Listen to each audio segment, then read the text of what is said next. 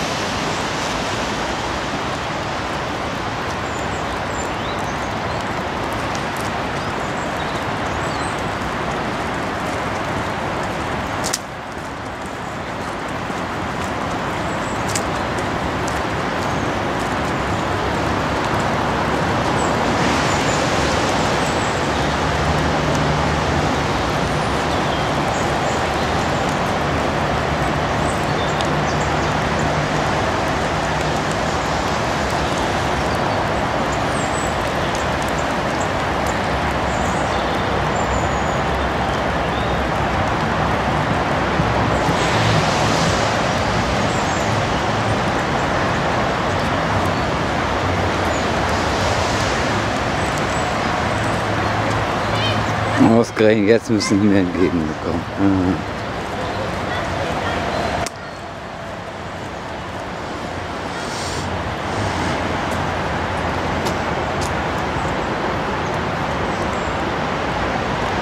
Da ist sie, unsere Sonne. Ich hoffe in nächster Zeit wieder häufiger, dass miese Wetter ein bisschen ein Ende nimmt.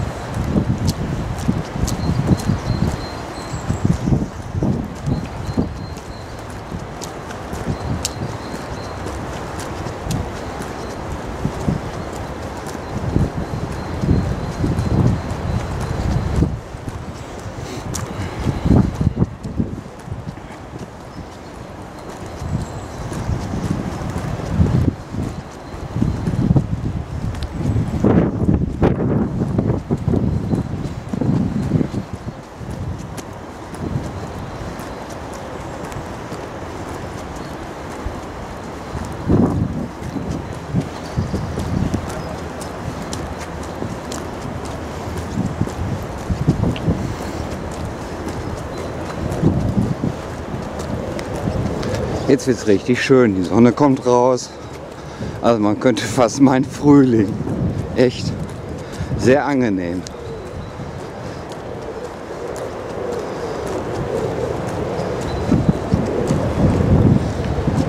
Ich drehe mich mal. Dann sieht man hier die Häuser.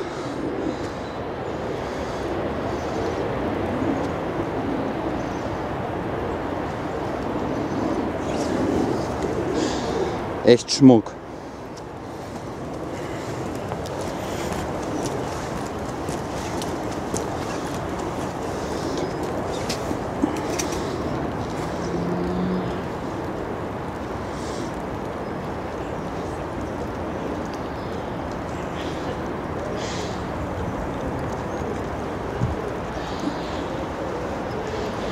Mag so alte knorrige Bäume. Der ist schön.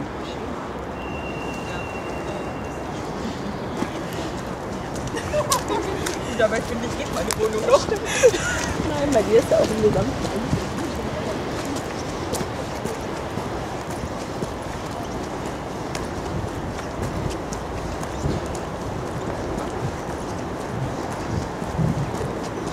Und im Ernst, das soll mal einer sagen, Krei wäre nicht schön. Alles mittendrin. Keine großen Wege. Wer hat das schon? Es gibt viele, auch in Essen, die froh wären, wenn sie so einen schönen Park mit so einem schönen Baumbestand direkt vor der Haustür hätten. Auch der ist schön hier. Finde ich mit der schönen Wurzel, da mit dem Efeu bewachsen. Immer ein Zeichen, wo die Regenseite beim Baum ist. Weil da wächst natürlich, wo viel Feuchtigkeit ist, auch Efeu.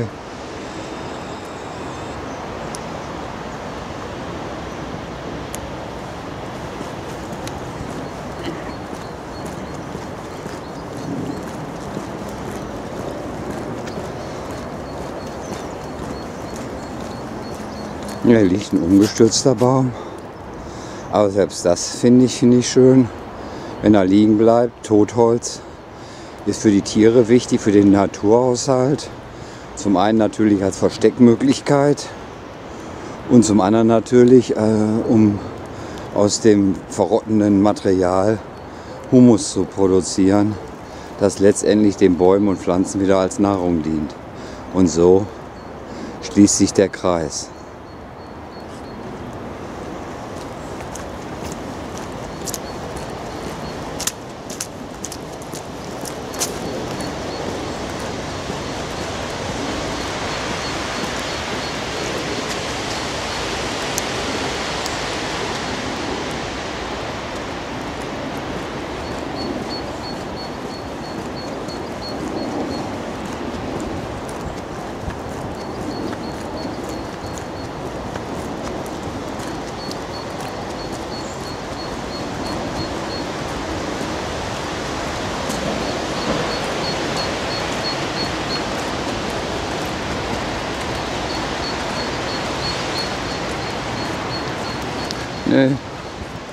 Kann es ruhig sagen. Schon ein bisschen idyllisch. Wirklich. Die Häuser, sehr schön.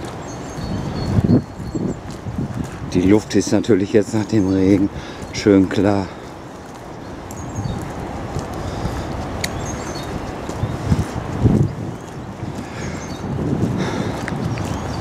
Und für euch, die ihr euch eventuell dieses Video anguckt, äh, gilt, you get what you see.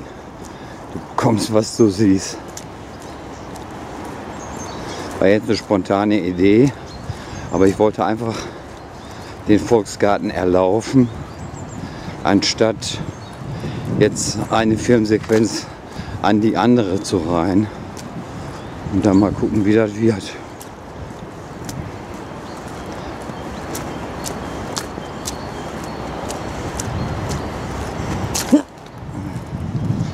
Gestolpert. Hier am Vogelfreunde Nistkästen angebracht. Finde ich sehr gut. Hier freuen sich unsere Piepmetze. Und auf der anderen Seite auch. Da auch sehr schön. Wahrscheinlich für Meisen, auf jeden Fall für kleinere Vögel. Sehr schön. Ja, dann ein Blick in die gegenüberliegende Straße und vielleicht auch noch mal kurz einen Blick zurück.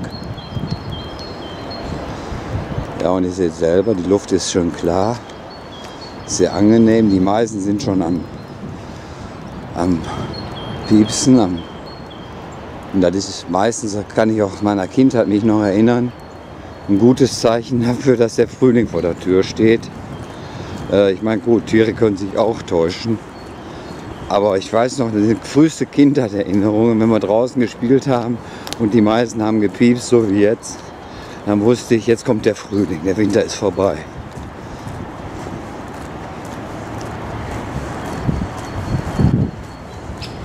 Ja, und hat man schöne Sicht von hier oben.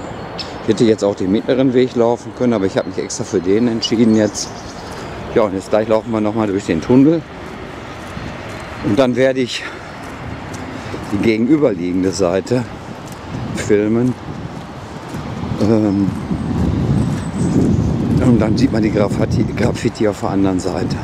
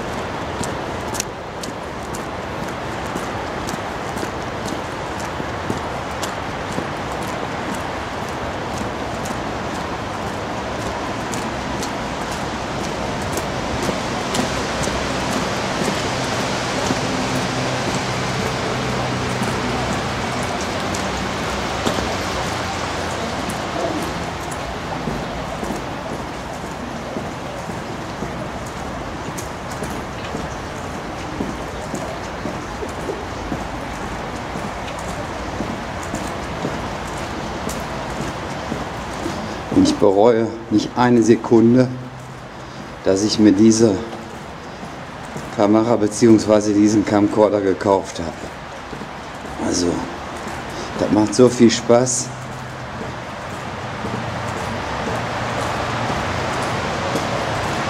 So, jetzt kommen wir wieder ins Licht.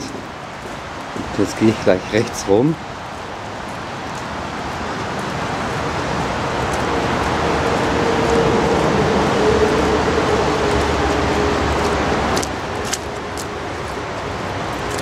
Hier sehen wir auch die Begrenzungsmauer zur A40, die teilweise mit Graffitis verziert oder auch je nach Betrachtungsweise äh, verunziert worden ist. Aber das lässt sich wohl nicht verhindern, weil selbst die neuen Schallschutzwände in Höhe äh, der, der Frillendorf sind mittlerweile in Fahrtrichtung Krai auch schon wieder mit entsprechenden Symbolen, Schriftzügen und so weiter vollziert, voll, oder wie auch immer worden. Wobei ich allerdings sagen muss, da die ja farblich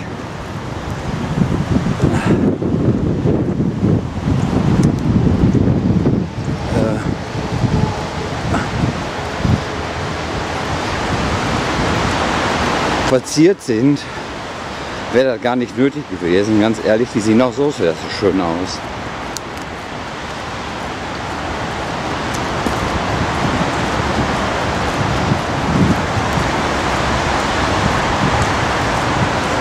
Ja, und hier sehen wir auch typisches Totholz.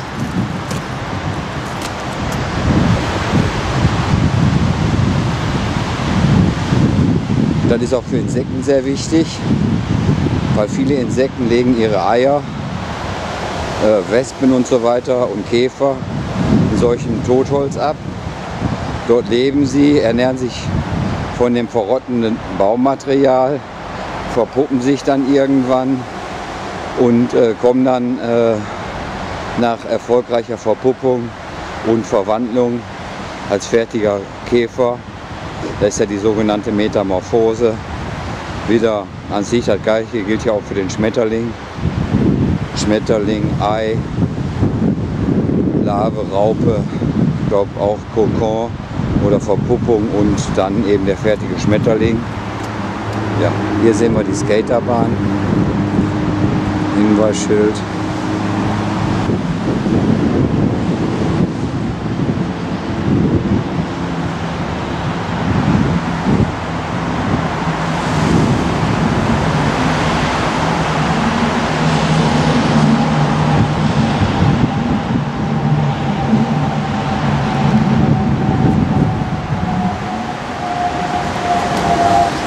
Da nochmal, wie gesagt, Graffiti.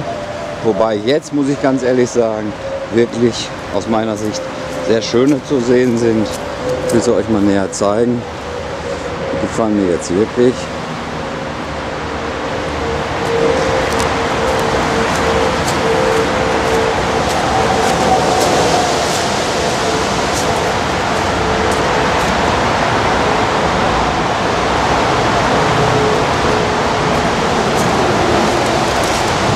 Rassismus keinen Platz in deinem Herzen.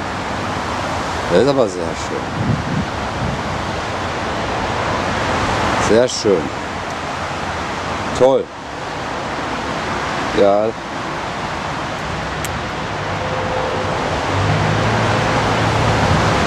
Ja, und dann ein sich liebendes Pärchen, das sich gerade liebkost und küsst. Schön gemacht. Hier gegenüber. Ihr tickt rechts. Ihr tickt doch nicht richtig. Steht dann da.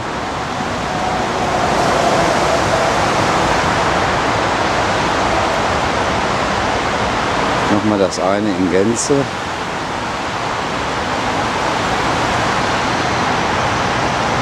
Ja, und dann, dann hier das. Und hier gegenüber ist noch eins. Gegen rechts Sticheleien Made habe ich eine Elefantenhaut. Aha. Der ist schön geworden. Respekt. Schade. Derart künstlerische Qualitäten gehen mir doch ab. Aber man kann nicht alles können. Dafür kann es der oder die Künstlerin. Schön. Und hier nochmal ein Blick auf die restlichen Wände, die jetzt aber nicht so besonders hervorzuheben sind.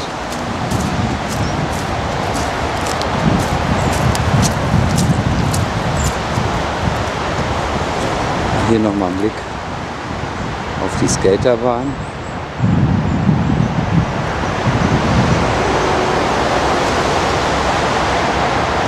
Die mit Sicherheit im Frühjahr wieder genutzt werden wird. So, dann setzen wir unsere Reise fort.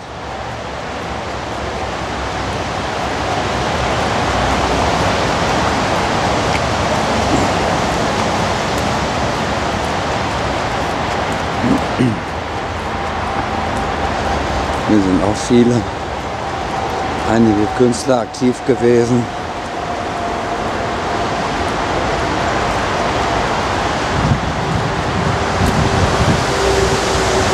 Ja, dann drehe ich mich mal. Nochmal einen Blick zurück. Ja, da sehen wir die Autobahn. Und jetzt gehen wir weiter.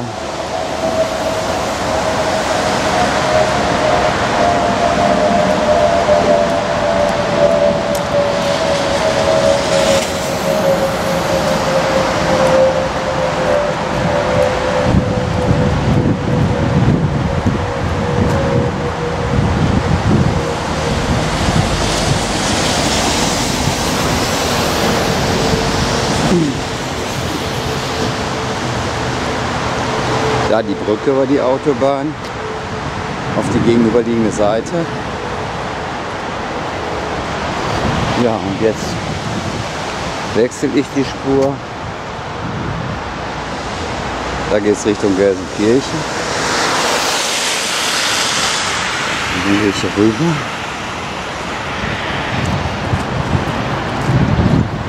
Und gehe jetzt durch den andere Seite des Volksgartens.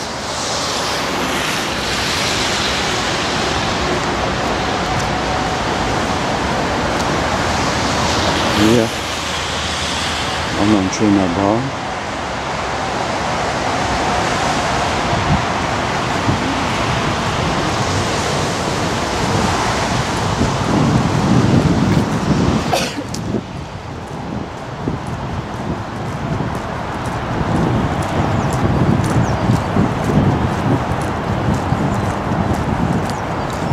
Na, hier sieht man eben noch, welche Schäden die Bäume genommen haben. Sturmela lässt grüßen. Aber mittlerweile hat sich die Natur doch wieder ein bisschen erholt. Und hinzu kommt, dass der NVV ja auch neue Bäume gepflanzt hat. Was ich auch gut finde, ist solche Tafeln. Hier zum Beispiel ein Ginkgo biloba. Ja, und so können wir uns informieren, welche Bäume wir hier sehen oder eine grüne Baumzypresse. Das ist eine ganz tolle Idee. Da lernt man dann gleich ein bisschen. Gute Idee. Sehr schön. So, dann gehen wir mal weiter.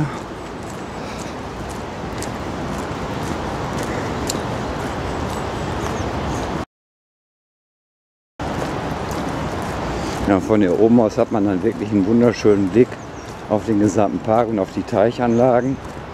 Guck jetzt, gucken wir jetzt mal. Zoomen wir ein bisschen ran. Hier im Hintergrund, da sehen wir den ersten Teich mit der Wasserfontäne. Hier. Dann schwenke ich mal langsam rüber. Und hier ist der zweite, wo ihr auch Bernis Come In ist, werden wir ja gleich sehen. Hier noch ein Baum.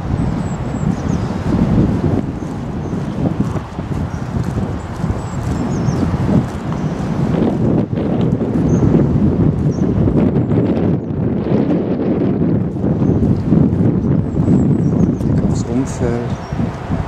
So.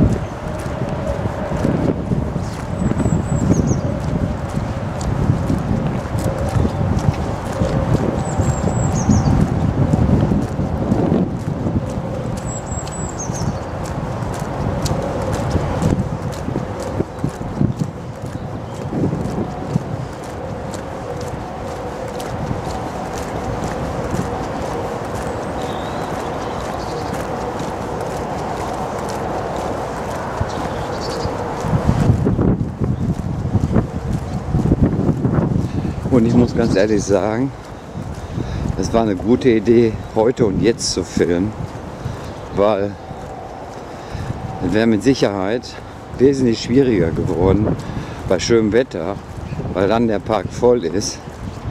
Und ich hätte ständig, weil ich ja die Privatsphäre und die Intimsphäre der Leute irgendwie äh, doch ein bisschen respektieren möchte, die Kamera aus äh, wegschwenken müssen.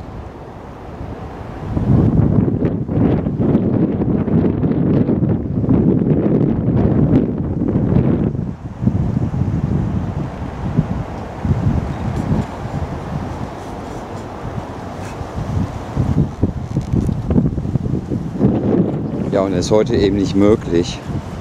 Ich kann wirklich entspannt und ruhig filmen, weil kaum einer hier ist. Und das ist auch für mich entspannt. Also mir ist das ja auch unangenehm, mich da Leute unterwegs attackieren. oder sonstiges. Ich habe ja äh, kein Interesse daran, äh, da irgendwen zu verärgern. Intention, mein Anliegen ist ja ein ganz anderes. Ich will ja eigentlich, wenn irgendwie möglich, Freude bereiten und kein Verdruss. Ein schönes altes Wort. Kein Verdruss. Findet man heute kaum, kaum noch verwendet. Ich habe dir Verdruss gemacht. Ja, und hier Spielgelegenheiten für die Kinder, die natürlich auch heute nicht genutzt werden. Ja, ist ja auch Karneval, Rosenmontag. Die werden unter Umständen vielleicht auch woanders sein. Einige möglicherweise in Köln, wer weiß. Aber schön mit den Gummiringen, kann man sich so reinhängen und dann hin und her pendeln, macht bestimmt Spaß. Da hinten im Hintergrund für alle die, die nicht wissen, die für den Film vielleicht auch gucken. Tischtennisplatten und äh, Bänke, auf denen man sich setzen kann, die ja hier im gesamten Volksgarten vorhanden sind. Und dann hier nochmal der schöne Spielplatz, den ich sonst auch nicht filmen kann, weil ja meistens Kinder sind.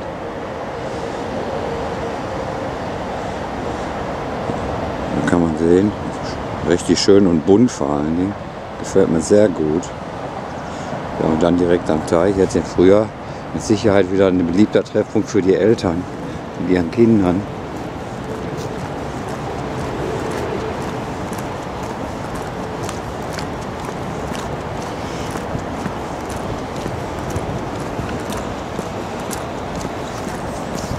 Ja, und da vorne rechts sehen wir die Gartenanlage, die ja direkt an den Volksgarten grenzt. Und hier dann eben die Flüchtlingsunterkunft in der hier ist.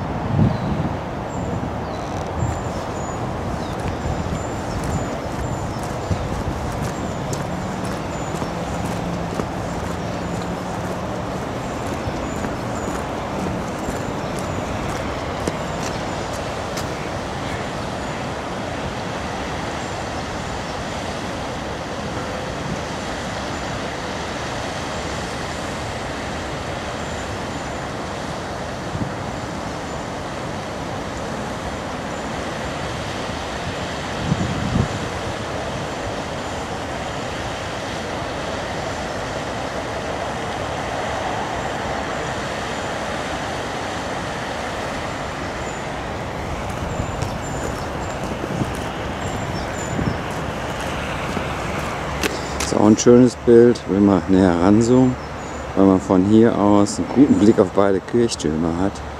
Im Vordergrund den Kirchturm der evangelischen Kirche und im Hintergrund den Kirchturm der katholischen Kirche. Da sind's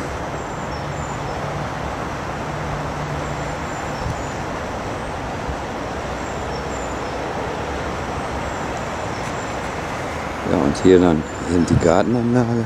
Da hat sich ein kleiner künstlicher See gebildet. Oder natürlich, er ist ja kein künstlicher, er ist ja nicht angelegt worden. Ja, und wird mit Sicherheit auch von den Vögeln jetzt in Zukunft, wenn er noch ein bisschen da bleibt, als Trinkstelle und als Badestelle angenommen werden. Da freuen die sich drüber. Müssen sie nicht so weite Wege gehen. Oder fliegen, besser gesagt. Den tun die ja weniger.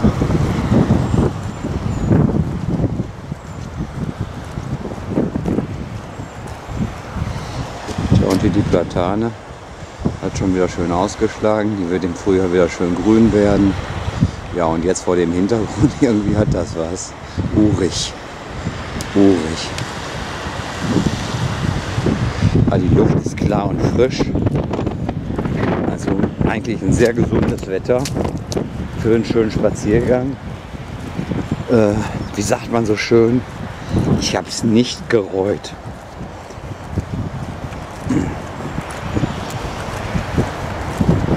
Ja, und hier sehr viele schöne Bänke, auf denen man Platz nehmen kann. Der Zaun, den sehen wir ja, der zum Schutz der Teichanlagen angebracht worden ist. Und hier ein Blässhuhn, bei der Nahrungsaufnahme. Zoom mal ran. Hallo Blessung. Da. Kann in Ruhe Nahrung aufnehmen. Ja. Fühlt sich jetzt ein bisschen unsicher. Ja, und dann zoome ich noch da hinten ran.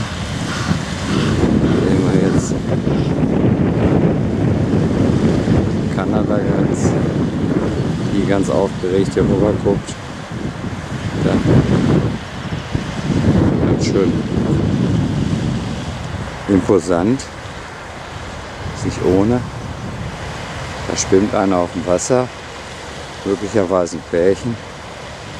Ja, die beiden Nieselgänse sind gleich gerade abgeflogen.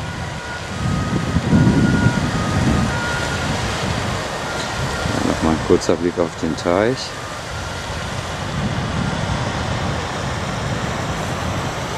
Ja, dann setze ich mal eine Runde fort. Hier sehen wir, wie gesagt, die Gartenanlage. Da zoome ich mal ein bisschen dran.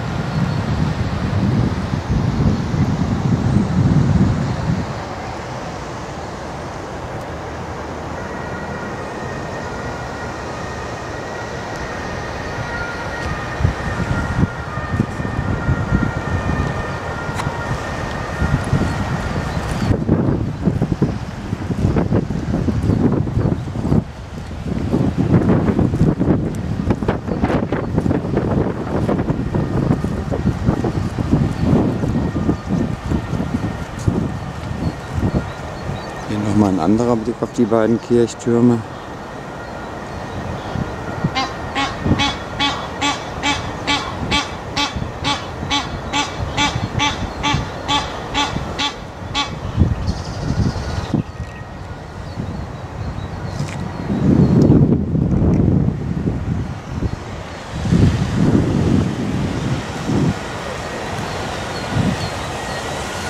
Ja, und hier unsere beiden Gänse, die unter Umständen jetzt erwarten, dass sie von mir ein Leckerchen kriegen.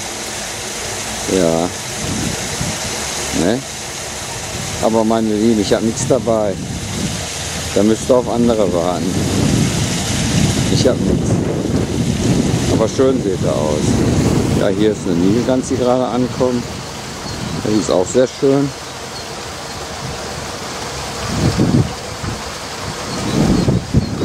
Mit ihren rosa Füßchen und dem bunten Gefieder und dem gescheckten Auge hat was. So, man klettert jetzt auch an Land. So, und wie sieht's aus? Harmoniert man? Ja, man toleriert sich. In einem gewissen Abstand, aber einer lässt den anderen in Ruhe. Ja, so geht's ja auch. So, und dann nochmal unser Blässhühnchen.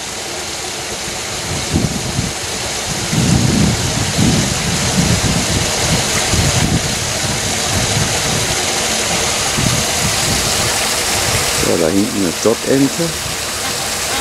Gehe ich mal näher ran. Ein Männchen. Eine der häufigsten Entenarten bei uns. Ja, zu erkennen an den schönen äh, glitzernden grünen Gefieder am Kopf und dem gelben Schnabel. Immer Menschen, die Weibchen sind schlicht braun. Ja, dann die Gießmöglichkeiten, kleine Verhausungen, die ja der Andreas Eisel aufgestellt hat mit dem NVV. Für die Tiere ganz wichtig. Ja, und noch hier nochmal beide Blässhühner im Bild. Ja, und dann hier das Schild, das wir beachten sollten. Wer Enten füttert, schadet allen Tieren und Pflanzen dieses Gewässers. Warum? Weil durch die, Ein durch die Nahrungsreste, die im Teich landen, die Gefahr besteht, dass das Wasser mit zu vielen Nährstoffen angereichert wird. Das wiederum führt zum Algenwachstum und das letztendlich dazu, dass der See umkippt und stirbt. Und das hatten wir ja in der Vergangenheit nicht umsonst sind ja die ganzen Teichanlagen gereinigt und gesäubert worden. Da hinten am Rand sehe ich auch noch mal ein paar Enten, die will ich jetzt ranzoomen. Wenn wir schon mal gerade hier sind, machen wir halt auch mal noch mal ein Stockentenmännchen. Da ist hier eigentlich nur Männchen, die anderen beiden sind auch Männchen. Weiten ist gar nicht zu sehen. So, und dann gehen wir den letzten Rest unseres Weges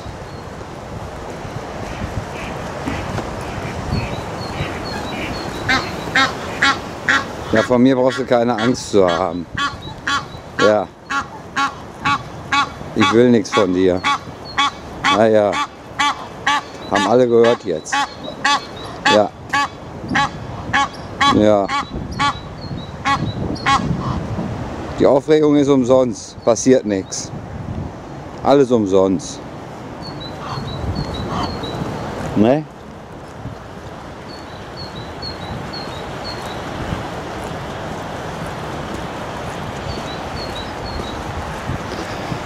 So, und gleich schließt sich der Kreis.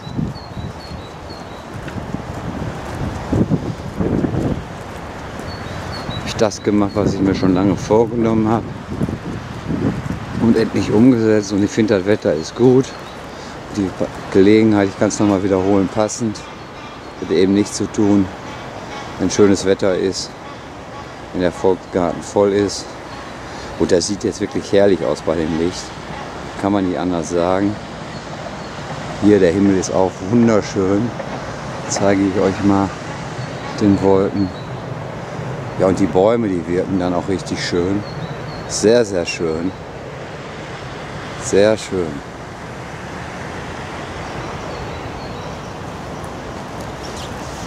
Ja, und jetzt nähern wir uns Berniskam Inn.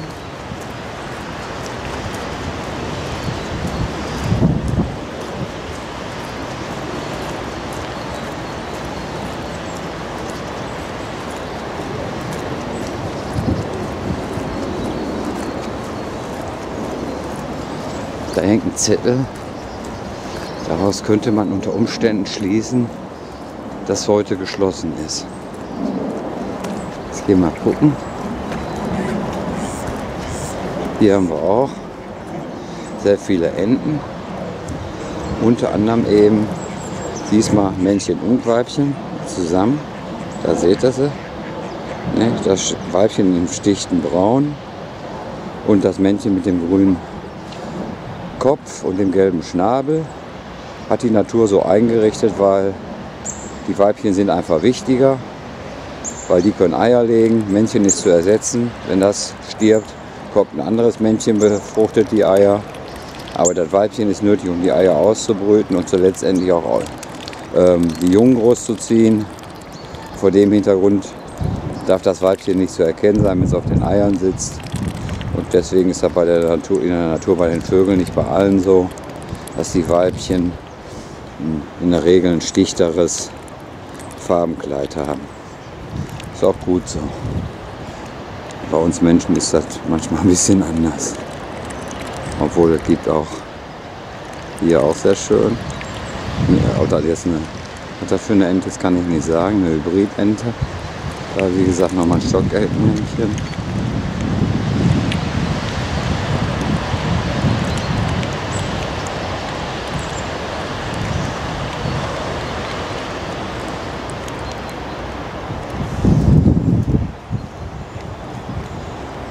Hier sind noch einige.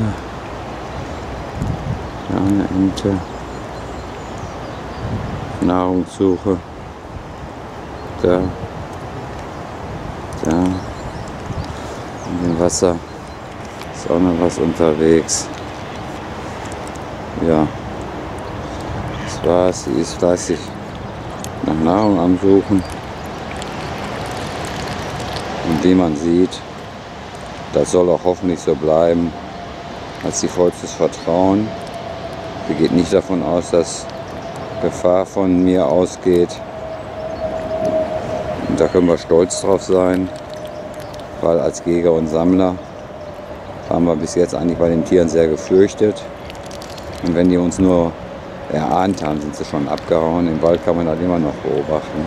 Also die Tiere in der Stadt sind da ein bisschen vertrauensseliger geworden. Leider Gottes gibt es ja Artgenossen, die dieses Vertrauen dann trotzdem immer wieder enttäuschen. Wie gesagt, ist also wirklich eine friedliche Idylle. Ja, und da, wie gesagt, ist ein ganzer Trupp. Männchen, Weibchen gemischt. Noch geht's. Sobald die in Brutstimmung kommen, ist damit vorbei mit dieser Eintracht. Dann ist einer, also unter den Männchen vor allen Dingen, einer dem anderen sein Teufel, wie man so umgangssprachlich sagt. Dann jagen sie sich gegenseitig. Da kommt auch noch einer angeschwommen. Die wollen wir jetzt nicht vergessen. Aha. Noch ein Stockente. So. Dann gehen wir jetzt zu Bernis Kamin. Hier.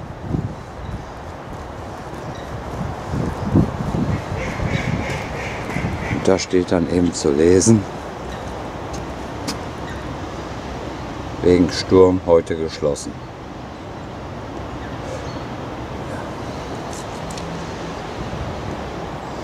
Hier sehen wir dann die äh, Minigolfanlage.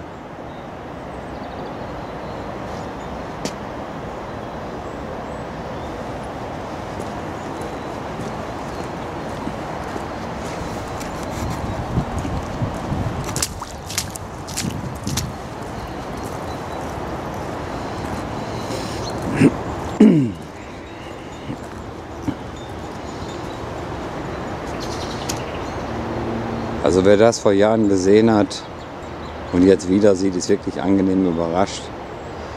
Es ist wirklich schon erstaunlich, was die beiden in erster Linie und ihre Freunde aus dieser Anlage gemacht haben. Nicht mehr wiederzuerkennen. Da muss man neidlos anerkennen. Also Respekt. Und hier auf dieses Bäumchen bin ich besonders stolz. Die Geschichte will ich euch kurz erzählen. Meine Mutter, die am 25.01.2013 verstorben ist, hat, äh, ich glaube, ein Jahr oder zwei Jahre zuvor, wenn nicht sogar noch mehrere Jahre, von mir ein kleines Weihnachtsbäumchen gekauft bekommen. Leider Gottes lag an dem Tag, wo ich ihr bringen wollte, sehr viel Schnee, sehr hoher Schnee. Mit der Folge, dass das Bäumchen bei mir geblieben ist. Es stand dann auf dem Balkon über mehrere Jahre. Und in der letzten Zeit drohte es einzugehen. Ja, und dann habe ich die Chrissy gefragt, ob ich das Bäumchen hier einpflanzen kann. Da hat sie sich mit einverstanden erklärt. Und wie ihr seht, bin ich ganz stolz drauf. Das hat sich richtig erholt. Das sieht richtig toll aus. Und im Grunde genommen ist der kleine Baum äh, ständiges Andenken an meine, wie gesagt, verstorbene Mutter. Ja, da freue ich mich total drüber. Mit einem letzten Blick über die gesamte Anlage gehen wir jetzt zum Ende des Volksgartens. Hier komme ich mit meinem Moped angefahren. Man kann hier parken und habe es so ein bisschen im Auge, wenn ich hier sitze. Ja, wirklich schön. Ja. ja, und hier eine wirkliche Idylle. Schon gehen die Streitereien los. Habe ich eben noch von geredet, das zanken sie schon. Ja, hier nochmal das Berniskam in von vorne.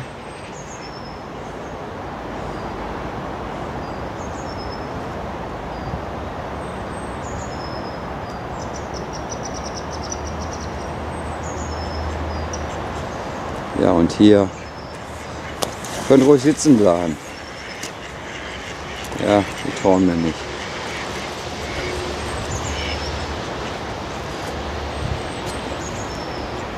Schwer was los.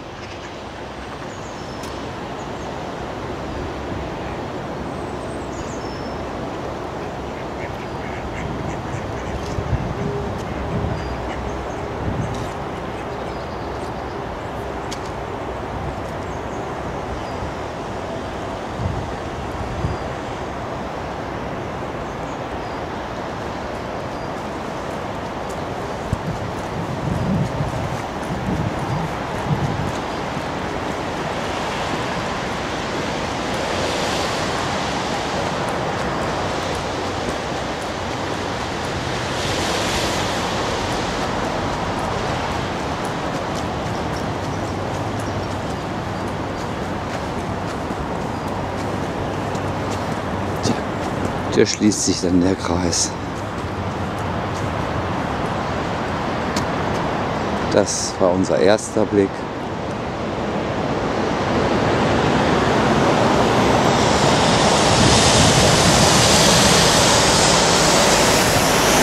Und das soll der letzte sein.